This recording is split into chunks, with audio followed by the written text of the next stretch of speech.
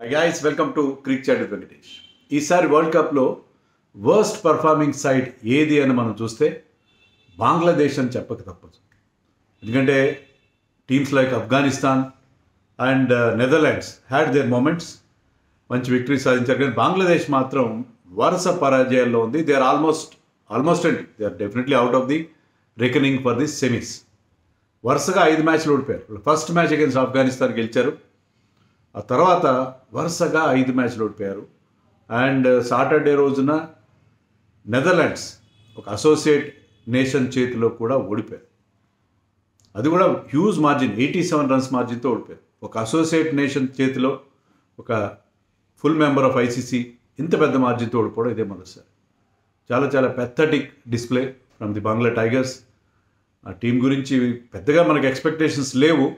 అయినా కూడా వాళ్ళ టీంలో ఉన్న ఎక్స్పీరియన్స్ కానీ షాకిబల్ హసన్ లాంటి లీడర్స్ ముష్ఫికూర్ తర్వాత లిట్టన్ దాస్ ముస్తఫిజూర్ ఇలాంటి మంచి మంచి ప్లేయర్స్ ఉన్నారు. Well known players. లీగ్స్లో ఆడేవాళ్ళు తర్వాత వాళ్ళకి చాలా ఎక్స్పీరియన్స్ వాస్ట్ ఎక్స్పీరియన్స్ ఉన్న ప్లేయర్స్ ఉన్నారు.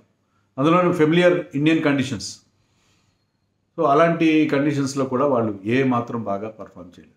ఈ మ్యాచ్లో అయితే యాక్చువల్గా వాళ్ళకి క్రౌడ్ సపోర్ట్ బోల్డ్ సపోర్ట్ ఉంది. ఎందుకంటే అక్కడ మ్యాచ్ ఈడెన్ గార్డెన్స్ కలకత్తాలో జరిగింది అక్కడ ఫెలో బెంగాలీస్ కానీ బంగ్లాదేశ్ నుంచి పొరుగున ఉన్న బంగ్లాదేశ్ నుంచి వచ్చిన బంగ్లా ఫ్యాన్స్ కానీ వాళ్ళకి బౌలింగ్ సపోర్ట్ ఉన్న చోట కూడా వాళ్ళు దారుణంగా పర్ఫామ్ చేశారు. నెదర్లాండ్స్ ఫస్ట్ బ్యాటింగ్ చేసింది చేసి పెద్ద స్కోర్ ఏం చేయలేదు. టూ ట్వంటీ నైన్ మాత్రమే చేశారు వాళ్ళు. Pitch has something for the fast bowlers and spinners as well Eden Gardens పిచ్లో కొత్త గ్రీన్ టింజ్ ఉంది. దాంతో ఫాస్ట్ బౌలర్స్ కొంత హెల్ప్ ఉంది. స్పిన్నర్స్ కూడా దాని మీద టర్న్ రా లభించడం చూసాము అలాంటి పిచ్ పైన Bangladesh was able to restrict them to two twenty nine అయితే వాళ్ళు క్యాచింగ్ బాగాలేదు.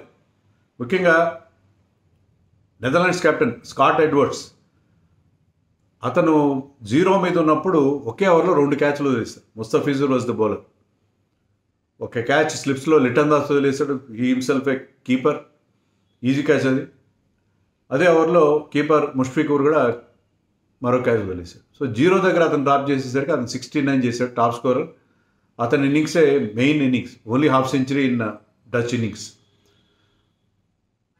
so అంత ప్యాథటిక్ డిస్ప్లే బౌలింగ్లో కానీ ఫీల్డింగ్లో కానీ సో టూ ట్వంటీ నైన్కి రెస్ట్రిక్ట్ చేసినప్పటికీ కూడా వాళ్ళు ఆ చిన్న టార్గెట్ని చేంజ్ చేయలేకపోయారు. రెగ్యులర్ ఇంటర్వల్స్లో వికెట్స్ పడ్డాయి. ముఖ్యంగా we have to appreciate Aryan Dutt the off spinner from Netherlands. Aryan Dutt ప్రతి మ్యాచ్లో న్యూ బాల్తో బౌలింగ్ చేయడం చూశాను నేను. హైదరాబాద్లో కూడా నెదర్లాండ్స్ పాకిస్తాన్ వార్మప్ మ్యాచ్కి వెళ్ళినప్పుడు కూడా వెరీ వెరీ ఇంప్రెస్డ్ స్టేడియంలో చూసినప్పుడు ప్రతి మ్యాచ్లో పవర్ ప్లేలో బౌలింగ్ చేస్తాడు. చాలా రెస్పెక్టబుల్ ఫిగర్స్ ఉన్నాయి. ప్రతి మ్యాచ్లో impressive one of the best spinners అని చెప్పడానికి నాకు ఎలాంటి సందేహం లేదు ఈ వరల్డ్ కప్ చాలా ఎఫెక్టివ్గా ఆ పవర్ ప్లేలో స్పెల్ వేయడం తర్వాత సెకండ్ స్పెల్ వచ్చినప్పుడు వికెట్స్ తీయడం. టర్న్ తీస్తాడు బాల్ని చక్కగా. వేరియేషన్స్ ఉన్నాయి.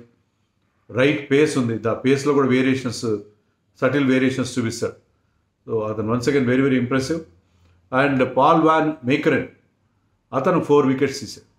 ఎక్సలెంట్ స్పెల్ అలాగే బాస్ డెలీడా లాస్ట్ మ్యాచ్లో ఈ went for one fifteen runs ఒక డ్యూబెస్ రికార్డ్ ఓడిఐస్లో ఎవరు ఇవ్వనని రన్స్ ఇచ్చాడు ఇగస్ ఆస్ట్రేలియా కానీ దాని నుంచి ఆ షాక్ నుంచి అతను he came back strongly and get to two wickets so బంగ్లాదేశ్ని చిన్న స్కోర్కి కట్టడి చేసేసారు సో ఎయిటీ సెవెన్ రన్స్ తేడాతో చిత్తుగా ఓడిపోయింది ఎవ్వరు కూడా బాగాలేదు కెప్టెన్ షాకబుల్ హసన్ బంగ్లాదేశ్ వెళ్ళి తన మెంటార్ దగ్గర మళ్ళీ ఏదో ఒక చిన్న చిన్న అడ్జస్ట్మెంట్స్ తన చేసుకుని వచ్చాడు. అయినా సరే అతను కూడా పర్ఫామ్ చేయలేదు. లాస్ట్ వరల్డ్ కప్లో హ్యాడ్ వండర్ఫుల్ వరల్డ్ కప్. ఈ వరల్డ్ కప్లో టోటల్గా ఫెయిల్ అయ్యాడు.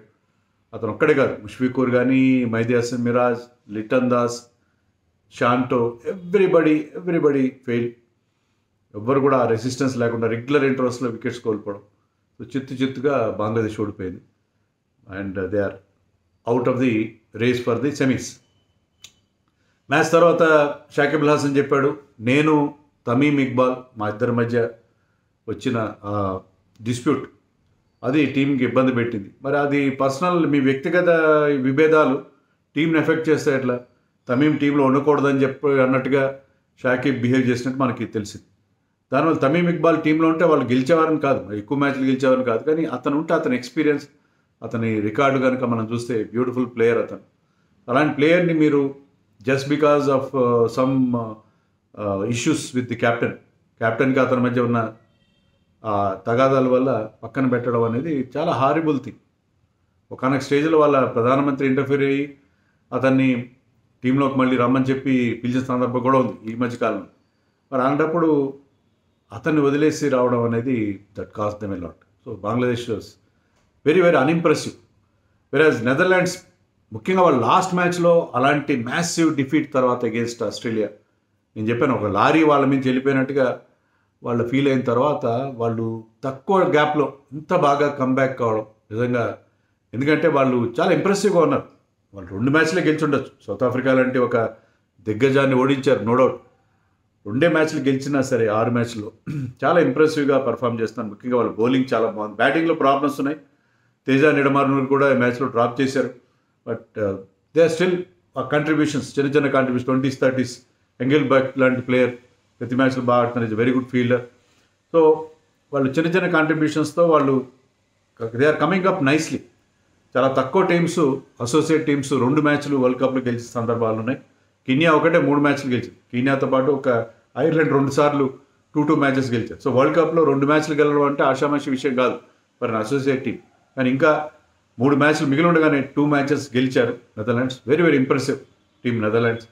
And uh, Bangladesh has to get their act together again ఈ వరల్డ్ కప్ డిఫీట్ మా వరల్డ్ వర్స్ట్ వరల్డ్ కప్ ఇది అని చెప్పి షాకిబుల్ హసన్ కూడా అనడం జరిగింది. ఇక ఎంత పూర్ పర్ఫార్మెన్స్ వాళ్ళ దగ్గర మనం ఎక్స్పెక్ట్ చేయలేదు. And on the other hand Netherlands did wonderfully well so ఈ వరల్డ్ కప్లో ఏ టీంని కూడా తక్కువగా అంచనా వేయకూడదని చెప్పి నెదర్లాండ్స్ మరొకసారి ప్రూవ్ చేసింది కదా?